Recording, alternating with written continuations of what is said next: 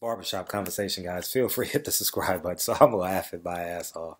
Bow Wow just got caught faking on IG, pretending he's somebody he ain't, saying he's flying private, two exquisite cars.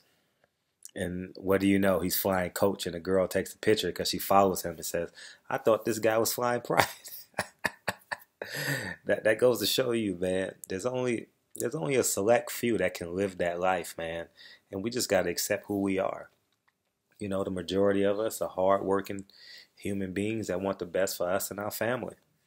And uh, he's in typical denial. You know, it's uh, I've had these conversations with some of my friends because they're older now and they're not as famous as they once was. You know, former NBA basketball players, old singers, and stuff like that.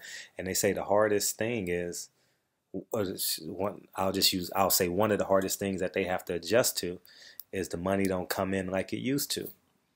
You know, and uh, now they doing shows. Singers are doing shows like a thousand dollars, two thousand dollars a show, and years ago they were getting, you know, quadruple that, ten times that, I would say, you know. So, but anyways, man, it's just funny because I actually work out with Bow Wow's baby mama at the gym. I probably see her maybe once, maybe twice a week.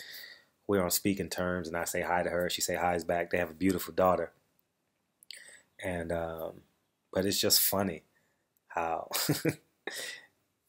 the famous people are faking the funk. You know what I mean? So all my people out there who are stunting on IG like they got it and don't really got it, you, you should you should be inspired today because Bow Wow is doing the same thing. I'll holla. Peace.